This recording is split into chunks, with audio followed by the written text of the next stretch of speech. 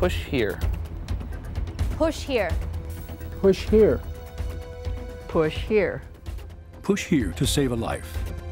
If an adult collapses in front of you and is not breathing, you are his best and probably his only chance to live.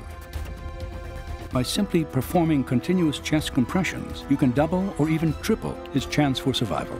Push yourself to help. Push here. Have someone call 911 and get an automated external defibrillator or AED. Push here. Push hard and fast on the center of the chest. If you get tired, let someone else take over. Don't stop until an AED is ready or EMS takes over. Push here. Push the shock button if directed by the AED. If available, turn it on and follow the voice instructions. Push yourself to learn more.